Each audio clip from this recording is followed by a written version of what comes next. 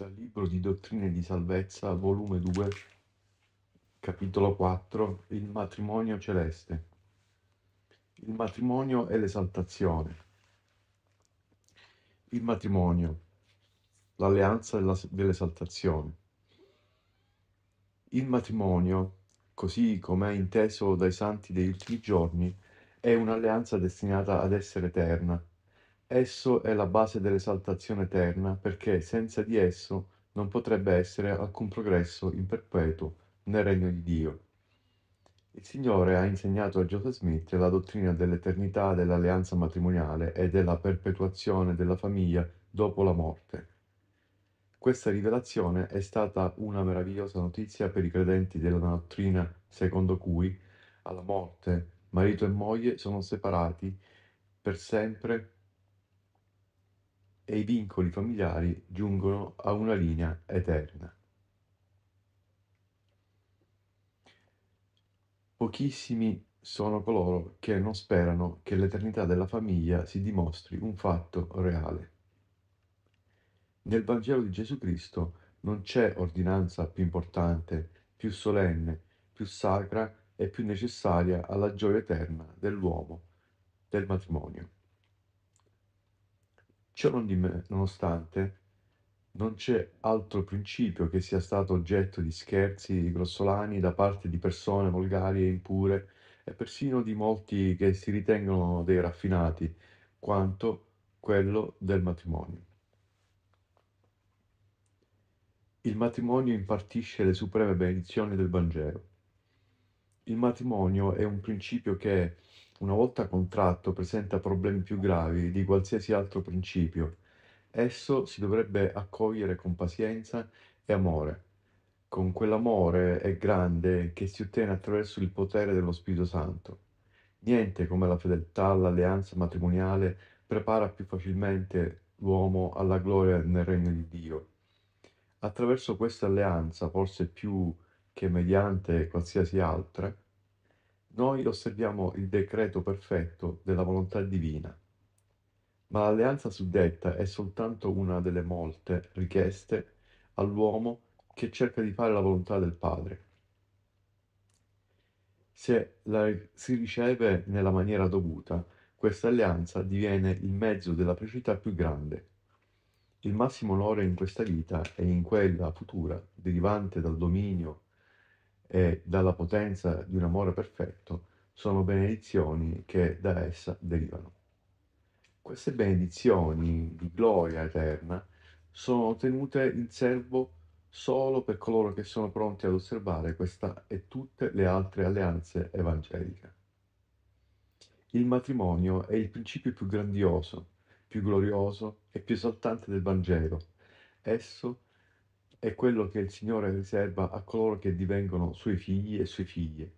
Tutti gli altri sono soltanto dei servitori, anche se giungono alla salvezza. Questi ultimi non diverranno mai membri della famiglia del nostro Padre e nostro Dio, essendosi rifiutati di ricevere la celeste alleanza del matrimonio. Il matrimonio celebrato per l'autorità dell'uomo termina con la morte. Il Signore ci ha informato attraverso i suoi servi, i profeti, che tutte le cose sono governate dalla legge. La sua casa è una casa d'ordine perché tutto quanto essa contiene rispetta la legge. Egli non accetterà dall'uomo alcuna offerta, voto o contratto che non siano fatti secondo le leggi che egli ha stabilito e che regolano il suo regno. Gli obblighi e gli accordi fissati dall'uomo, nel merito dei quali il Signore non entra perché non sono stati fatti da Lui eh, o per suo ordine, che è la sua legge, avranno termine con la morte degli uomini. Quindi tutti i contratti di matrimonio, nonché altri contratti e obblighi stipulati in questa vita da persone che non hanno accettato il Vangelo eterno, devono avere termine quando gli interessati passano da questa esistenza all'altra. Perché il contratto matrimoniale sia valido e vincolante per l'eternità e per il tempo, le parti contraenti devono stipulare il rapporto matrimoniale in piena osservanza delle leggi su cui si basano le benedizioni già riportate. Ai santi è comandato di sposarsi per l'eternità. Il Signore ci ha comandato, come si legge nelle rivelazioni, che il matrimonio fra i membri della Chiesa venga celebrato nella sua santa casa e non per il tempo soltanto, ma per il tempo e l'eternità. Quindi coloro che si accontentano di compiere una cerimonia per il tempo soltanto e unendosi in questa vita sono soddisfatti del matrimonio così come è stato celebrato o sono ignari di questo fondamentale principio evangelico e delle sue conseguenze, oppure si oppongono intenzionalmente al comandamento del Signore. Ora, quello che voglio dire è diretto soprattutto ai genitori dei giovani. Probabilmente sono i genitori quelli da biasimare di più, perché in molti, moltissimi casi non hanno insegnato ai loro figli il valore sacro dell'alleanza matrimoniale. Il mio cuore si riempie di tristezza quando vedo sul giornale il nome di una ragazza o di un ragazzo, figli di membri di questa chiesa, che si sono uniti in matrimonio fuori del Tempio del Signore. Dicono che, son, che sono triste perché so cosa questo significa, cioè che essi si precludono l'esaltazione nel regno di Dio. Senza il matrimonio eterno ci sarà dolore nella risurrezione. Per questi giovani che sembrano ora così felici, quando si leveranno nella resurrezione e si troveranno nella condizione che si saranno meritati per la loro mancanza di fede e di comprensione nel Vangelo e, mi spiace dirlo, per l'incoraggiamento che molte volte hanno ricevuto dai loro stessi genitori, ci saranno pianti e gemiti e stridor di denti e amarezza di cuore. Le persone indegne non devono andare al Tempio. Naturalmente ci sono persone che non sono degne di andare al Tempio e perciò non vi dovrebbero andare. Nessuno dovrebbe andare al Tempio se non quelli che ne sono degni, come ha detto il Signore, che vincono mediante la fede e che sono purificati e giusti e fedeli. Soltanto essi possono andare al Tempio. Se sono impuri, se non hanno fede, faranno bene a starne fuori finché non acquisiranno la fede e non si sono purificati. Il matrimonio civile ci rende servitori nell'eternità. A proposito del matrimonio, il Signore dice, poiché tutto ciò che rimane viene da me, e tutto ciò che non viene da me sarà scosso e distrutto. Se dunque un uomo sposa una donna in questo modo, mondo e non la sposa mediante me o la mia parola e che faccia alleanza con lei per tutto il tempo che egli è nel mondo e che ella si leghi a lui, la loro alleanza e il loro matrimonio non avranno alcuna validità quando saranno morti e quando saranno fuori del mondo. Perciò non saranno legati da alcuna legge quando saranno fuori del mondo. Vale a dire che essi non sono vincolati da alcuna legge evangelica il Vangelo non avanza alcun diritto su di loro. Quando sono morti, il loro contratto, gli obblighi e i vincoli hanno fine. Essi non hanno alcun diritto l'uno sull'altro e nessun diritto sui loro figli. Questi ultimi rimangono senza genitori e soltanto se sono fedeli possono essere adottati da un'altra famiglia. Pertanto, quando essi sono fuori del mondo, essi non possono più sposarsi né sono più dati in matrimonio, ma sono nominati angeli nei cieli. Quali angeli sono servitori destinati a servire coloro che sono degni di un ben più grande e più importante peso di gloria eterna. Poiché questi angeli non obbedirono alla mia legge, ragion per cui non possono moltiplicarsi, ma rimangono separati e celibi senza esaltazione nella loro condizione di salvezza per tutta l'eternità. E non sono dunque dei, ma angeli di Dio per sempre. La conseguenza logica qui è questa. Coloro la cui vita è moralmente sana, che sono virtuosi, onorati, ma che non vogliono celebrare questa alleanza del matrimonio eterno nella casa di Dio, risorgeranno e potranno anche entrare nel regno celeste, ma soltanto come servitori, per servire coloro che sono degni di un ben più grande e più importante peso di gloria eterna. Scelta fra le cose terrene e l'esaltazione. Volete continuare a percorrere questa breve distanza chiamata mortalità amando il costume del mondo, cioè le tentazioni, gli allettamenti e tutto quello che esso può offrire perché sono cose piacevoli e poi levarvi nella risurrezione per essere dei servitori destinati a servire coloro che sono degni di un ben più grande e più importante peso di gloria eterna? Questo è proprio quello che tali persone riceveranno.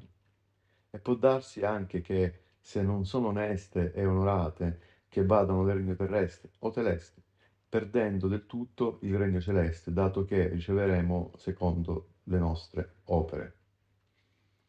Ora questa è la fine, per ciò che riguarda il matrimonio di coloro che sono soddisfatti di sposarsi semplicemente secondo la legge degli uomini e non secondo la legge di Dio. Il matrimonio celeste fa sì che gli sposi siano dei nell'eternità. Ma se ci sposiamo per il tempio, per il tempo e per l'eternità, se il nostro matrimonio è suggellato sulla nostra testa da coloro che ne hanno l'autorità e se poi teniamo fede alle nostre alleanze e restiamo fedeli sino alla fine, nella resurrezione dei morti ci leveremo e riceveremo le seguenti benedizioni che ci sono state promesse.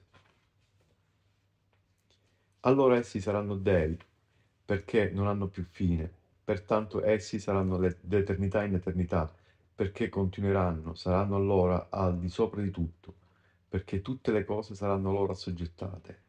Allora saranno dei perché hanno ogni potere e gli angeli sono sottomessi a loro. Chi sono gli angeli? Sono coloro che non hanno obbedito alla legge. In verità, in verità, io ti dico, a meno che tu obbedisca alla mia legge, tu non potrai giungere a questa gloria. Obbedire a quale legge?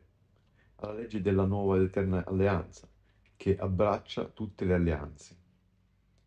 Poiché stretta è la porta ed angusta la via che conduce all'esaltazione ed alla continuazione delle vite e ve ne sono pochi che la trovano perché non mi ricevete nel mondo né mi conoscete. Ma se mi ricevete nel mondo, allora voi mi conoscerete e riceverete la vostra esaltazione, perché là dove io sono sarete voi pure. Quale meravigliosa promessa! Ed è disponibile, è un dono, non ci costa niente soltanto rettitudine, fede, obbedienza. E questo prezzo sicuramente possiamo pagarlo. Significa naturalmente rinunziare alle cose del mondo, ma è questo un sacrificio? C'è qualcuno che considera la rinunzia alle cose terrene un sacrificio? Alcuni potrebbero considerarla tale, ma non è così. In effetti non sacrifichiamo mai niente per il Vangelo di Gesù Cristo. Sarebbe come se dessi cento lire a un uomo che me ne ha date mille e poi andassi a dire che il mio gesto è stato un grande sacrificio. Perciò, se volete raggiungere l'esaltazione e divenire come Dio, cioè un figlio di Dio o una figlia di Dio, e riceverete la pienezza del regno, dovete obbedire alla sua legge, non semplicemente alla legge del matrimonio, ma tutto quello che appartiene alla nuova ed eterna alleanza. E allora avrete la continuazione delle vite in eterno, perché dice il Signore, questa è la vita eterna, conoscere il solo saggio e vero Dio e Gesù Cristo che Egli ha mandato. Io sono colui. Ricevete dunque la mia legge. Coloro che non sono sposati erediteranno le morti. Cosa ne sarà degli altri? Vediamo quello che dice il Signore. Larga la porta e spazioso il cammino che conduce alle morti, e ve ne sono molti che vi entrano perché non mi ricevono né obbediscono alla mia legge. Cosa intende dire il Signore con le parole le morti?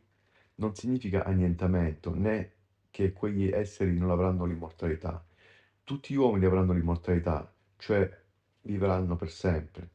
Questo è un dono di Dio. Ogni anima si leverà nella resurrezione E allora cosa vuol dire il Signore quando dichiara che coloro che si introducono nel cammino spazioso vanno alle morti? Vuol dire che entrano nel mondo futuro separatamente e da soli e non avranno alcuna continuazione di vite, nessuna moltiplicazione. Questa è la morte, essi non avanzano. Per ciò che riguarda la progressione, essi arrivano alla fine. Il Signore chiama questo le morti e io sono assolutamente sicuro che ogni anima che rifiuti questo comandamento del Signore e si metta nel cammino spazioso, quando entrerà nell'eternità scoprirà di essere entrata nella morte, di essere giunta alla fine non alla fine della vita, ma alla fine della moltiplicazione. Il matrimonio è il divenire figli di Dio. Il dono promesso a coloro che ricevono questa alleanza del matrimonio e che rimangono fedeli sino alla fine è il dono della moltiplicazione eterna. Essi, cioè, non avranno fine. Soltanto coloro che hanno questo potere conosceranno il solo saggio e vero Dio e Gesù Cristo che Egli ha mandato. Gli altri potranno vedere il Signore ed essere ammaestrati da Lui, ma in effetti non lo conosceranno né conosceranno il Padre suo, a meno che non diventino come loro. Chi è che desidera entrare nel mondo eterno ed essere un servitore quando abbiamo la promessa che possiamo divenire figli e figlie di Dio? Eppure molti di noi, la più gran parte, entreranno nel mondo eterno come servitori e non come figli. E questo semplicemente perché pensiamo più al mondo e alle sue alleanze che non a Dio e alle sue alleanze. Noi, nella nostra cecità di cuore, ci rifiutiamo di osservare i suoi sacri e santi comandamenti. Oh, quante e quale amarezza ci sarà nel giorno del giudizio, quando ogni uomo riceverà la ricompensa secondo le sue opere. Nessuna esaltazione senza il matrimonio. Poiché il matrimonio è ordinato da Dio e nel Signore l'uomo non è senza la donna e né la donna senza l'uomo, al di fuori del rapporto matrimoniale non può esserci alcuna esaltazione nella pienezza delle benedizioni del Regno Celeste. Un uomo non può essere esaltato da solo, né la donna lo può essere da sola. Entrambi devono avere un compagno per condividere gli onori e le benedizioni di questa grande esaltazione. Il matrimonio per il Tempio e per l'eternità è il presupposto sicuro sulla suprema gloria del regno del Padre nostro, mediante la quale i suoi figli divengono suoi eredi, nelle cui mani egli mette tutte le cose. Se un uomo e sua moglie si salvano in regni diversi, per esempio uno nel regno celeste e l'altro in quello terrestre, automaticamente il suggellamento si spezza, cioè avviene a causa dei peccati di uno dei due. Nessuno che si conservi fedele può essere privato dell'esaltazione. In altre parole, un marito meritevole non può impedire ad una moglie fedele di ricevere l'esaltazione e viceversa.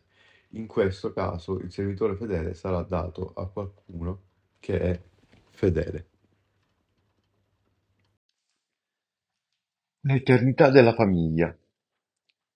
La felicità eterna deriva dalla continuazione della famiglia. Il Signore istituì il matrimonio non soltanto perché esso durasse in eterno, ma anche perché la famiglia durasse in eterno.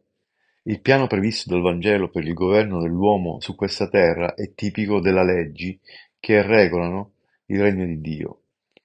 È possibile immaginare una fonte più grande di dolore dell'essere lasciati nel mondo eterno senza avere diritto al proprio padre o alla propria madre o ai propri figli? Il pensiero di una nazione senza l'unità familiare, come elemento fondamentale di un paese in cui tutti i cittadini siano sostanzialmente estranei l'uno dall'altro, dove ogni forma di affetto sembri sconosciuta e i vincoli familiari siano assai deboli per legare i vari gruppi, è un pensiero che mi fa orrore. Siffatte condizioni non potrebbero portare la nazione se non all'anarchia come primo passo e poi al dissolvimento. E perché non è ragionevole credere che la stessa cosa sia vera in relazione al regno di Dio? Se in quel regno non ci fossero vincoli familiari e tutti, uomini e donne, fossero angeli senza naturale parentela, come molte persone credono, potrebbe essere un posto di felicità, un paradiso? La famiglia di Dio Padre. Le dottrine predominanti secondo le quali nell'altro mondo non ci sono vincoli di questo genere e che il sesso scompare con la concessione della salvezza ai giusti, non sono ovviamente d'accordo con le scritture. Il Signore disse a Giovanni: Chi vince erediterà queste cose, e io gli sarò Dio, ed egli mi sarà figliuolo. Inoltre Paolo, nella sua lettera ai santi Efesini, diceva: Per questa cagion dico, io piego le ginocchia dinanzi al Padre, dal quale ogni famiglia nei cieli e sulla terra prende nome.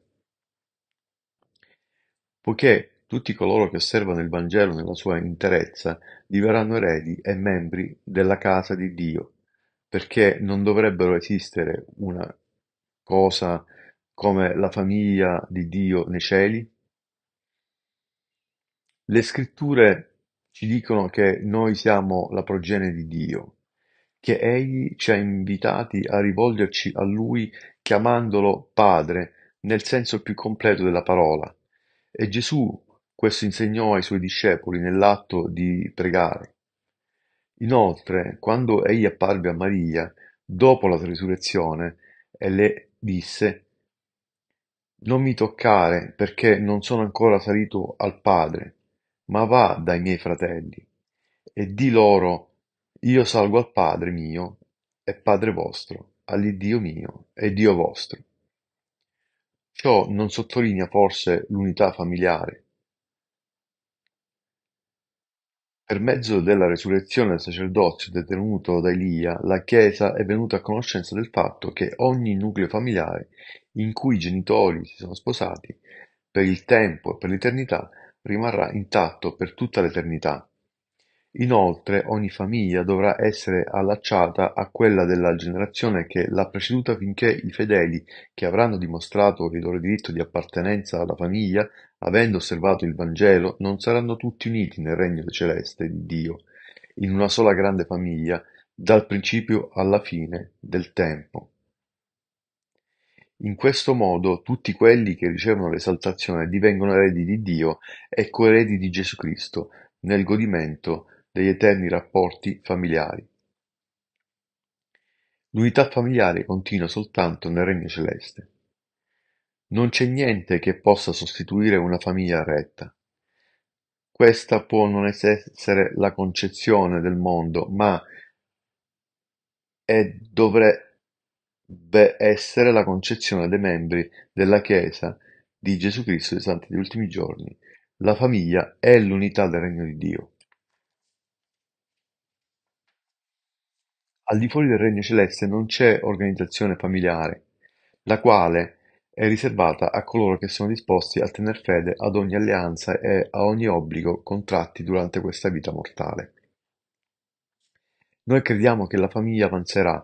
Io traggo un grande conforto nel pensiero che se sono fedele e degno dell'esaltazione, mio padre sarà mio padre, mia madre sarà mia madre, e io sarò il loro figlio per tutta l'eternità. I miei fratelli e le mie sorelle saranno i miei fratelli e le mie sorelle per tutta l'eternità, come per tutta l'eternità saranno i miei figli e mia moglie. Non so come la pensino gli altri in proposito, ma per questo è un pensiero stupendo che mi aiuta a mantenermi sereno. La catena familiare presso gli esseri saltati. Ogni uomo sposato è a capo della sua famiglia, cioè della sua famiglia diretta. Così io, per esempio, sarò a capo del mio nucleo familiare in virtù del suggellamento per il tempo e per l'eternità, e i miei figli mi apparterranno. Io apparterrò ai miei genitori nel loro gruppo familiare. Analogamente mio padre, insieme ai suoi fratelli e sorelle, apparterrà al nucleo familiare e di suo padre, e così via tutti congiunti di generazione in generazione come anelli di una stessa catena. Così sarà per i giusti del tempo di Adamo in poi.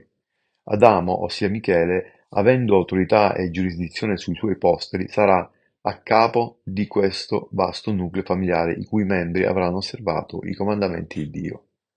Questo è l'ordine del sacerdozio. Naturalmente ci saranno catene che si spezzeranno, anelli di congiunzione che mancheranno, perché non si possono costringere le persone ad entrare nel regno. Coloro che non saranno degni di unirsi a questo raggruppamento di famiglie dovranno rimanere da parte e coloro che ne saranno degni saranno riuniti e la catena andrà avanti lo stesso. Alla fine, quando quest'opera si sarà completata e Cristo avrà consegnato al Padre suo le chiavi e avrà fatto il suo rapporto e la morte sarà stata annientata, allora quel grande gruppo familiare da Adamo in poi composto di tutti i giusti, di coloro che avranno osservato i comandamenti di Dio, scoprirà di essere una sola famiglia, cioè la famiglia di Dio, avente diritto a tutte le benedizioni che sono proprie dell'esaltazione. I figli spirito nella resurrezione. Quelli che giungeranno all'esaltazione del regno celeste avranno il potere dell'eterna moltiplicazione dei posteri e saranno al di sopra di tutto perché tutte le cose saranno loro assoggettate. I figli nati da genitori che, con la loro fedeltà, avranno ottenuto la pienezza di queste benedizioni, saranno i figli in spirito, non rivestiti di tabernacoli di carnali ed ossa. Questi figli saranno come eravamo noi primi di venire in questo mondo. Le scritture ci dicono che noi siamo la progenie di Dio nello Spirito e che Gesù Cristo fu il primo primogenito del nostro Padre eterno in quel mondo di spirito. Adamo e il matrimonio celeste. Adamo si unì in matrimonio prima che la morte entrasse nel mondo. Il Signore creò l'uomo a sua immagine, maschio e femmine, e la donna fu data come compagna all'uomo. Infatti il Signore disse, Non è bene che l'uomo sia solo. Quando Eva fu data ad Adamo, l'unione era eterna. Nel mondo non c'era morte perché la caduta dell'uomo avvenuta fu più tardi. Quando furono sparsi i semi della morte e l'uomo fu scacciato dalla presenza del Signore a causa della sua trasgressione, l'unione precedente formata non si ruppe. Le scritture dicono che Adamo si mise a coltivare la terra e a dominare su tutti gli animali dei campi e a mangiare il suo pane col sudore della sua fronte, ed Eva pure, sua moglie, lavorava con lui. Questa sacra unione è destinata a durare per sempre.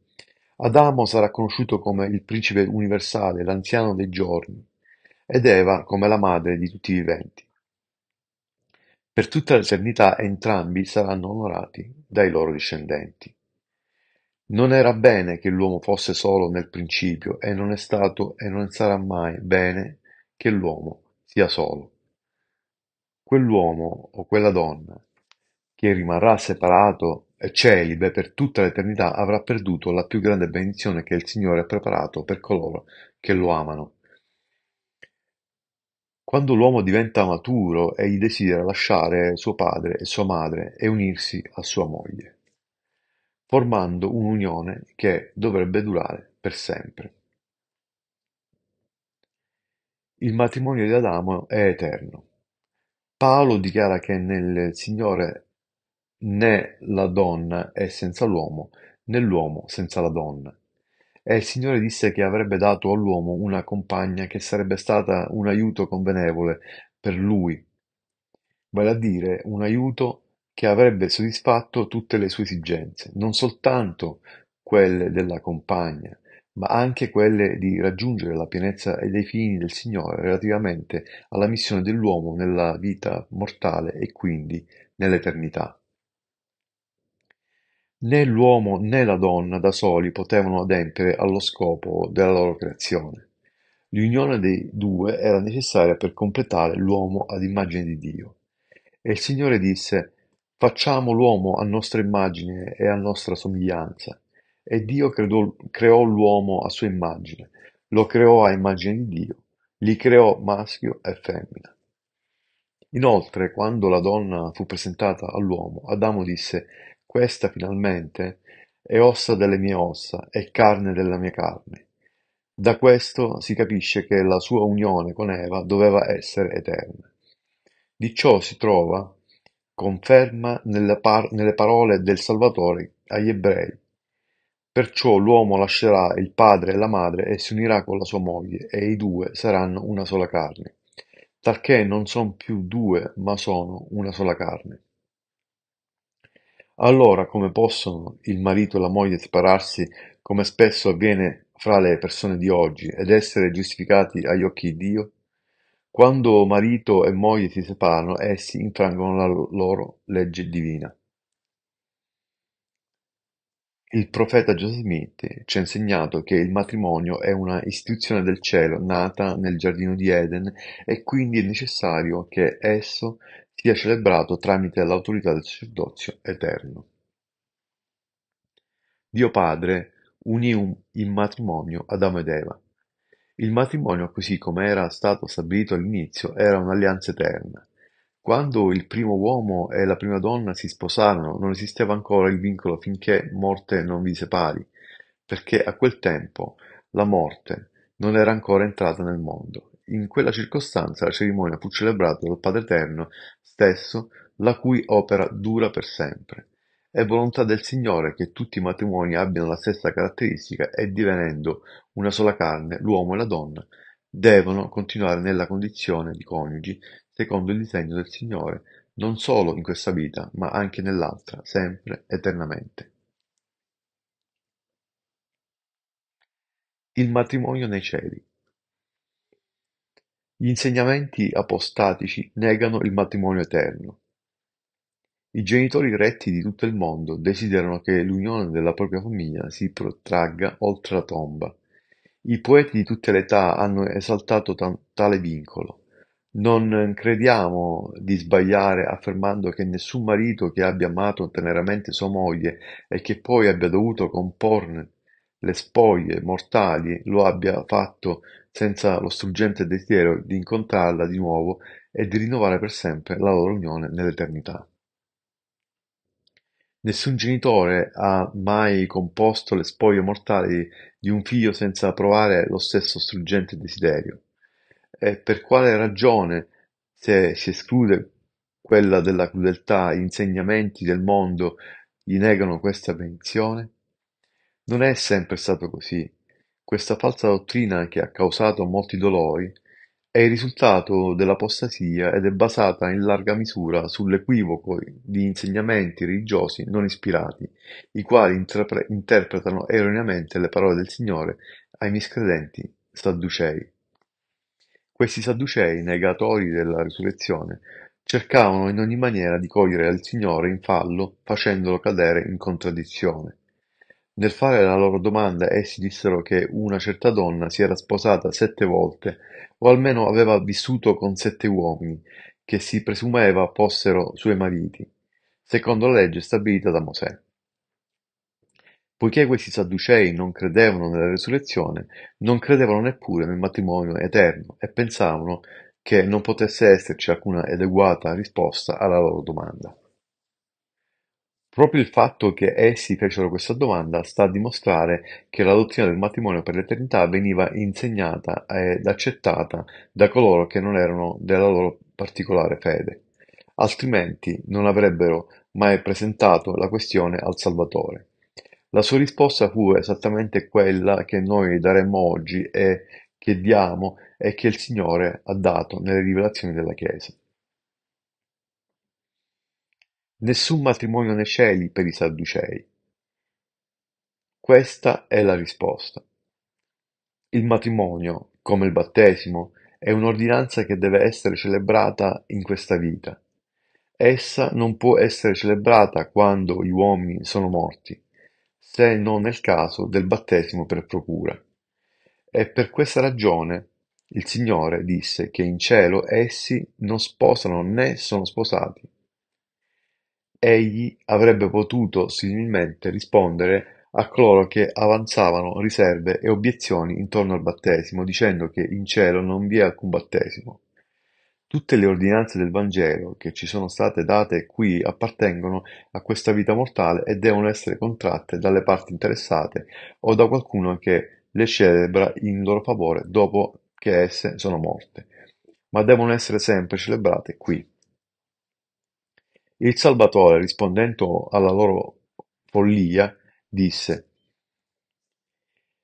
i figlioli di questo secolo, cioè il mondo cui appartenevano i Sadducei, sposano e sono sposati. Io richiamo la vostra attenzione sul fatto che il Signore disse che sia egli che i suoi discepoli non erano di questo mondo, mentre i Sadducei lo erano. Quindi aggiunse ma quelli, gli uomini di questo mondo, i quali non osservano tutta la legge, che saranno reputati degni d'aver parte al secolo a venire, cioè anche quelli che entrano nel regno celeste, ma che, non essendo sposati, non ottengono l'esaltazione di quel regno, e alla risurrezione dai morti non sposano e non sono sposati, perché neanche possono più morire, giacché sono simili agli angeli e sono figliuoli di Dio, essendo figliuoli della risurrezione. Nessun matrimonio nei cieli per gli ingiusti. Questa è la sola risposta che il Signore poteva dare a quei miscredenti.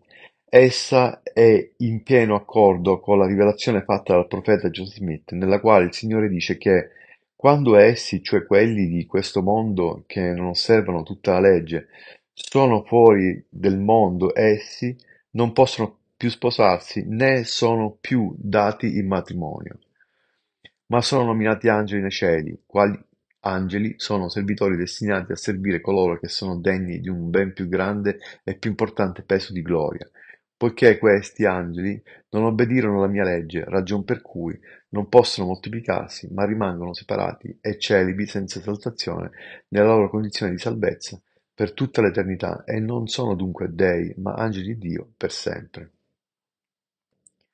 Le risposte sono esattamente le stesse e si riferiscono a coloro che possono essere degni di una parte di salvezza, malgrado il loro rifiuto dell'alleanza del matrimonio eterno. Quelli che respingono la verità del Vangelo eterno non potranno né sposarsi né essere dati in matrimonio. Questo privilegio è riservato a coloro che osservano i comandamenti del Signore nella loro interezza e rispettano le leggi di Dio.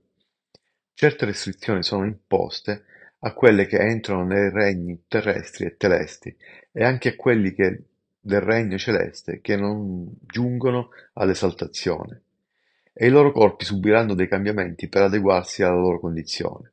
E proprio a causa di queste restrizioni, nessuno si sposerà né sarà dato in matrimonio, né vi sarà vita comune fra uomini e donne. Le leggi che regolano il matrimonio eterno. Le chiavi richieste per il matrimonio celeste. Il matrimonio per l'eternità può essere celebrato soltanto nel Tempio e in nessun'altra parte l'autorità mediante la quale tali matrimoni sono celebrati deve essere conferita a colui che officia nelle ordinanze in virtù della nomina da parte di colui che possiede le chiavi. Sulla terra c'è soltanto un uomo alla volta che detiene le chiavi di questo potere vincolante e suggellante. Nessun altro uomo ha il diritto di officiare in un matrimonio o cerimonia di suggellamento per il tempo e per l'eternità, a meno che egli non sia stato direttamente nominato da colui che possiede le chiavi di questo potere. Questa nomina può essere revocata in qualsiasi momento dalla stessa persona che possiede le chiavi suddette. Nessun uomo può officiare in queste cerimonie, a meno che egli stesso non sia investito dal santo sacerdozio. Chi ritiene di poter celebrare tali matrimoni in virtù del suo ufficio sacerdotale, senza peraltro essere stato nominato da colui che possiede le chiavi di questo potere, è privo di autorità e quindi i suoi atti non sono validi. Gli uomini hanno l'obbligo di sposarsi. I giovani che trascurano il grande comandamento di sposarsi, sia per pigrizia o per, o per un egoistico desiderio di evitare le responsabilità che la vita matrimoniale comporta, prendono una direzione spiacevole agli occhi di Dio. Esaltazione significa responsabilità e senza responsabilità non può esserci alcuna esaltazione. Se un uomo si rifiuta di assumersi le responsabilità della vita matrimoniale perché non vuole preoccupazioni, prende una direzione che può escluderlo per sempre dalle responsabilità tenute in serbo per coloro che sono pronti a osservare completamente i comandamenti del Signore. La sua progressione eterna sarà quindi limitata, come gli antichi Sadducei, egli sarà annoverato fra gli angeli che non possono moltiplicarsi. Egli non avrà il privilegio di essere annoverato fra i figli di Dio e così di aver diritto come erede a partecipare alle benedizioni riservate a coloro che ricevono un'eredità nel regno del Padre. Non sposatevi al di fuori della Chiesa. Per le ragioni esposte precedentemente, è un errore molto grave per un giovane uomo o una giovane donna sposarsi al di fuori della Chiesa, perché in tal caso essi non possono sposarsi con la promessa dell'unione eterna. Chiunque sia la persona che officia nelle cerimonie del matrimonio, questo sarà per il tempo soltanto, e dopo la morte separerà le due parti che nell'aldilà non avranno alcun diritto sui figli. Lo stesso principio vale per entrambi gli sposi che, membri della Chiesa, si rifiutano o trascurano di ricevere l'ordinanza matrimoniale nella maniera debita nella casa del Signore. È vero che essi in seguito possono andare nella casa del Signore e far sì che le loro benedizioni siano suggellate su di loro, ma è, è molto meglio far questo subito per non temere che l'occasione arrivi quando è troppo tardi. Insegnate ai figli la legge del matrimonio eterno. Voglia il Signore che tutti i padri e tutte le madri insegnino ai loro figli la natura sacra dell'alleanza matrimoniale e che imprimano bene nella loro mente il fatto che in nessun altro modo, se non rispettando le alleanze di Dio, fra le quali quella del matrimonio eterno è una delle più grandi e imperative, essi possono ottenere le benedizioni della vita eterna. Se si rifiutano di ricevere questa ordinanza ed altre benedizioni nella casa di Dio, essi non godranno di questa benedizione elevate, perciò non porteranno alcuna corona, non avranno alcun regno e non reggeranno alcun, alcun scettro. Ed essi sarà negata la pienezza della conoscenza e del potere e, come figliuol prodigo, potranno far ritorno nella casa del padre loro, ma come servitori e non come figli. Se si atterranno a questi comandamenti, la loro fede ed esaltazione non avranno limiti. Sposatevi nella maniera giusta o non sposatevi affatto. In varie occasioni ho sentito il presidente Joseph. Smith dire che preferirebbe accompagnare i suoi figli uno ad uno alla tomba in piena innocenza e purezza, consapevole che essi si leverebbero poi per ereditare la pienezza della gloria celeste, piuttosto che farli sposare al di fuori della chiesa o anche fuori dal tempio del Signore. Perché egli sarebbe stato così risoluto? Perché sapeva perfettamente quello che, secondo la legge del Signore, significa il matrimonio e perché conosceva le conseguenze che derivano dal rifiuto di questa alleanza nella casa di Dio. Infatti coloro che si rifiutano di ricevere questa ordinanza voluta dal Signore non possono entrare nella pienezza della gloria celeste. L'esaltazione per le donne nubili e fedeli. Voi, brave sorelle, che siete nubili e sole, non temete, non pensate d'essere in futuro private di questa benedizione solo perché non avete accettato un matrimonio non gradito. Voi non dovete temere alcuna condanna perché in condizioni meno svantaggiose avreste rispettato le ordinanze e le benedizioni di suggellamento nel Tempio del Signore. È per questa vostra speranza che desidero che non potete realizzare ora, il Signore vi ricompenserà e voi sarete benedette. Sì, nessuna benedizione vi sarà sottratta. E il Signore vi giudicherà secondo i desideri del vostro cuore e non vi condannerà per quello che voi non avrete potuto evitare. Le donne nubili saranno giudicate in base ai loro desideri. Secondo l'usanza moderna sta all'uomo prendere l'iniziativa nella questione del matrimonio. Le donne in forza di ciò che devono essere riservate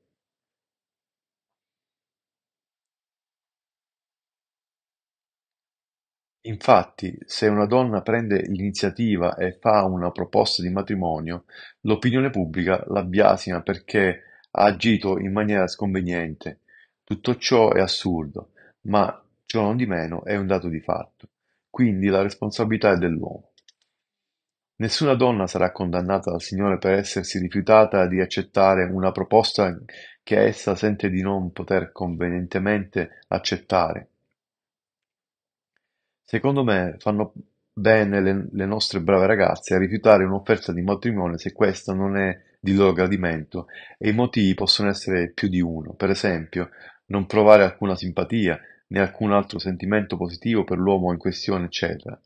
Non per questo esse devono temere di, perdere ogni ricompensa, e il Signore le giudicherà secondo i desideri del loro cuore e non priverà in futuro delle benedizioni tenute in serbo per loro. Fare una giusta scelta del compagno o della compagna della vita. Questa vita è breve e l'eternità è lunga. Se pensiamo che l'alleanza matrimoniale durerà per sempre, sarà bene considerarla con molta attenzione. Una decisione affrettata in questo importantissimo campo della vita può riempire di dolore infinito l'esistenza mortale del marito, della moglie e dei figli. I risultati possono estendersi e si estendono dall'eternità e provocare un rimpianto irreparabile che durerà per sempre. Dal punto di vista dei santi degli ultimi giorni, il matrimonio è un importante passo della vita in cui l'agire affrettatamente pensando che il pentimento può aspettare potrebbe dimostrarsi fatale. Il consiglio giusto da dare ai nostri giovani è di scegliere attentamente la propria compagna e il proprio compagno animati dalla fede del Vangelo. Il giovane che agirà in questo modo avrà maggiori possibilità di tener fede ai voti e ai patti, e le prospettive, se non manca la fede nella divina missione del nostro Signore e nel Vangelo rivelato per mezzo di Joseph Smith, il profeta, sono tutte in favore di un'unione felice che durerà per sempre. Il consiglio che io do alle ragazze è questo. Se non riuscite a trovare un marito che sia fermo nella sua religione e che abbia fede nel Vangelo del nostro Signore, è preferibile che rimaniate nubili. È meglio rinunziare a qualcosa nella vita mortale e raggiungere la vita eterna che perdere la salvezza nel regno di Dio. Ricordate che se sarete fedeli il Signore vi darà una felice unione eterna che sarà molto di più di quello che avete temporaneamente perduto. Se abbiamo sperato in Cristo per questa via soltanto, noi siamo i più miserabili di tutti gli uomini.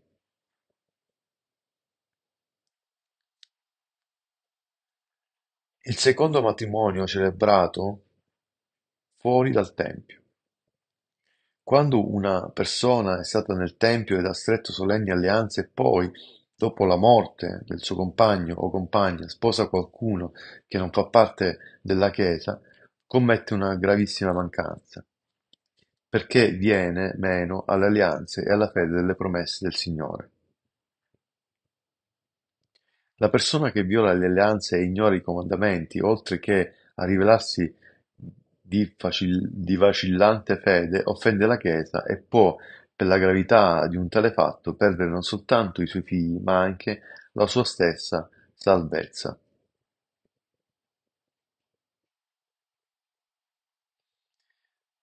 Suscitare una progenie al proprio fratello. Quando un uomo e una donna si sposano nel Tempio per il tempo e per l'eternità e successivamente l'uomo muore e la donna sposa un altro uomo, essa può farlo solo per il tempo. Quando un uomo sposa una donna vedova il cui matrimonio era stato celebrato nel Tempio, dovrebbe essere a conoscenza che i suoi figli, che nasceranno da questa unione, egli non avrà alcun diritto. Essi andranno con la madre.